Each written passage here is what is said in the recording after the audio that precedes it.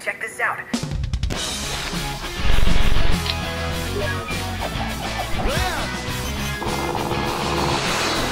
Come in, Brian Tong. Hello, hello. You're gonna lose. Okay, I'm gonna win. Oh! Oh shit! Spider-Man! 28 times. We're in the CNET New York VR lab. A remarkable, dreamlike alien place. There's one. Wherever you are, that character will look at you and find you.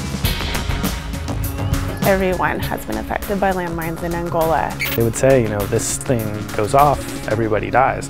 There was one particular comment that is burned into my brain. It sucks that it's just part of being a woman on the internet. Visítanos en CNET en Español. I didn't even read zombies. I read this tragedy happened. He was just trying to find his family. My main objective is to be a perfect companion.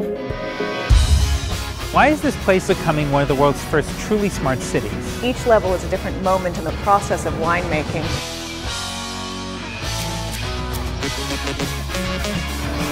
If you're about to buy or lease a new car, let's run down the checklist. The bolt might just be the answer to your prayers. Pretty good. Welcome to something evil.